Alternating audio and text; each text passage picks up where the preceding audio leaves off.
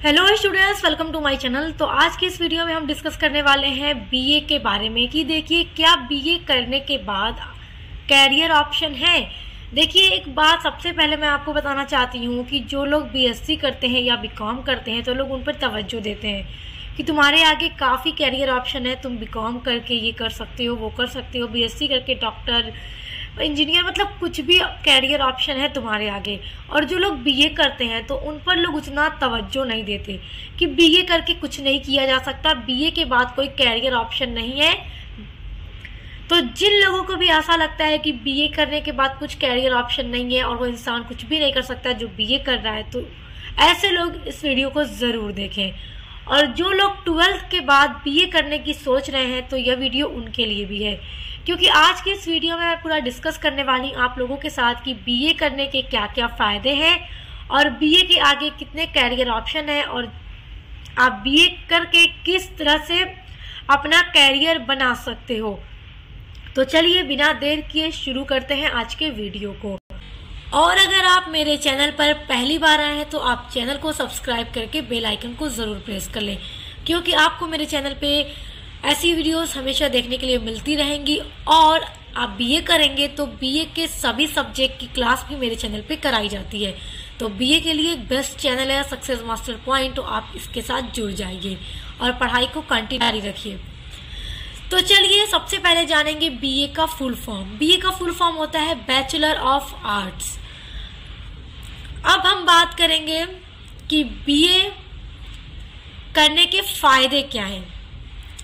देखो, सबसे पहला फ़ायदा बीए करने का ये है कि अगर आप कोई पार्ट देखिए, अगर आप कोई पार्ट टाइम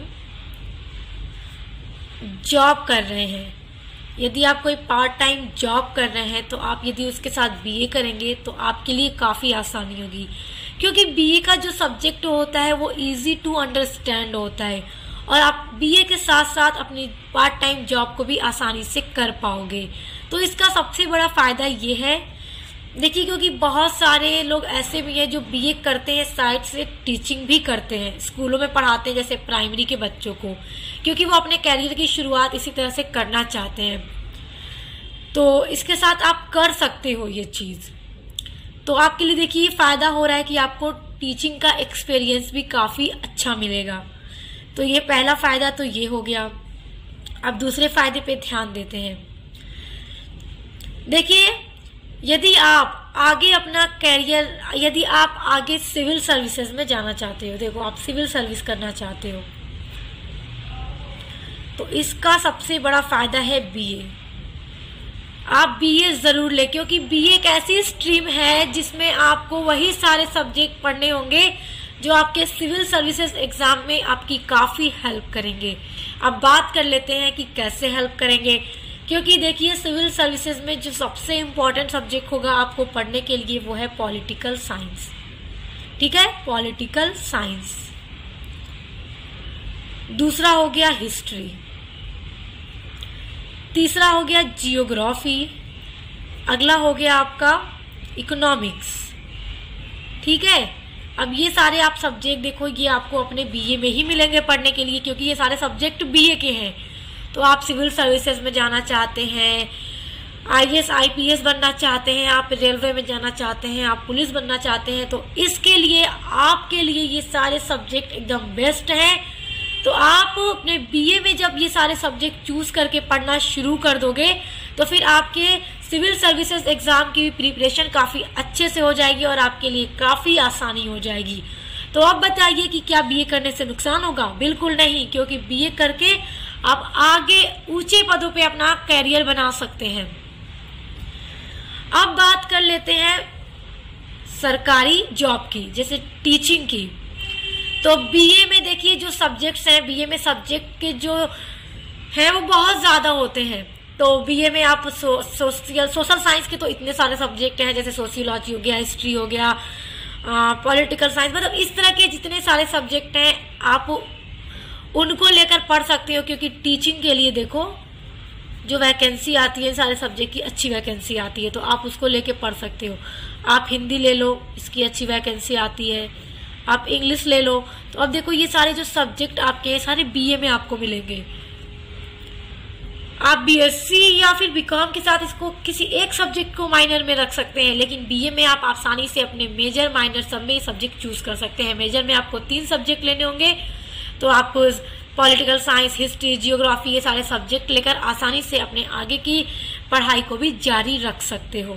अब देखिए, एक और आप बता दूँ, यदि आप पीएचडी करना चाहते हैं तो देखिए बीए में आप तीन सब्जेक्ट चूज़ कर रहे हो पढ़ने के लिए।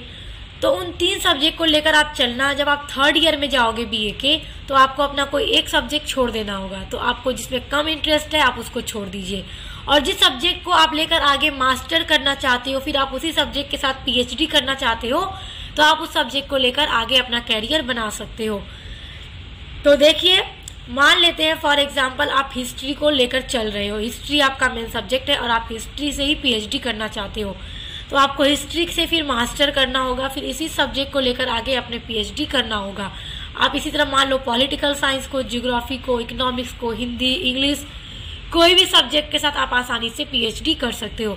तो देखिए बीए के आगे भी बहुत सारे कैरियर ऑप्शन है, ऐसा नहीं है जिनको लगता है कि बीए करने के बाद कुछ भी नहीं किया जा सकता। तो उनको मैं बता दूँ कि आज के टाइम में बड़े बड़े ऊँचे ऊँचे पदों पे आईएएस आईपीएस जो काम कर रहे हैं, उन्होंने बीए से ही अपनी पढ़ाई कर रखी है। तो इसलिए जिनको भी ऐसा लगता है कि बीए करने के बाद कुछ भी नहीं किया जा सकता तो स्टूडेंट्स आपको ऐसा लगता है कि जो भी आपके जानकारी में ऐसे लोग हैं तो आप उनको ये वीडियो ज़रूर शेयर कीजिए ताकि उनको भी पता चल जाए कि बीए करने के नुकसान नहीं सिर्फ़ और सिर्फ़ फ़ायदे हैं। बीए से काफ़ी अच्छा कैरियर बन सकता है, आपकी लाइफ अच्छी सेट हो सकती है। तो इसलिए आज के बाद से ऐसा कभी मत सोचिएगा, अच्छे से कंटिन्यू पढ़ाई कीजिए।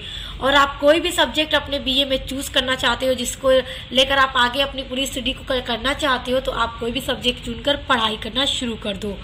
और सभी सब्जेक्ट की क्लास मेरे चैनल पे कराई जा रही है तो आपके बीए के political science history geography, economics, Hindi, English, history, medieval history ancient history, सभी की क्लास मेरे चैनल सक्सेस मास्टर पॉइंट से हो रही है। एक बेहतर तरीके से मैं आपको पढ़ाने का प्रयास करती हूँ और आपके मॉडल पेपर की वीडियोस अपलोड करती हूँ, महासंग्राम क्लास रिवीजन अपलोड करती हूँ, ताकि आप अच्छे से अपनी पढ़ाई को कंटिन्यू कर सकें और अच्छे से अच्छा मार्क्स लेकर आएँ और अपना अच्छा कैरियर बना सकें।